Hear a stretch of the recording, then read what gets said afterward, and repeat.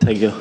Very, very difficult game for me because uh, one month ago I operated my hand, another again. Uh, at the end, in the in this race, uh, when maybe 10 laps uh, to go, I don't have force in my hand, but uh, sometimes. Uh, in Jerez, uh, maybe you ride with with the head, no, not with the force.